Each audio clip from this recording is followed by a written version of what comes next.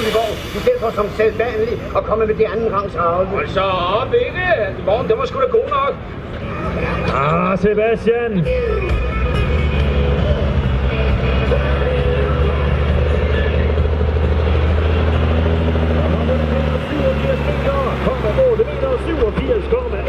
og Sebastian Simonsen.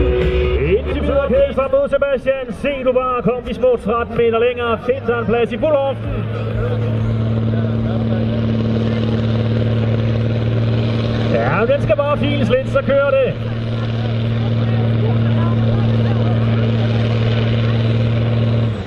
Det var helt godt grov. Det vil man da ro, det bliver bager i morgen. Det fint nok, hvad der egentlig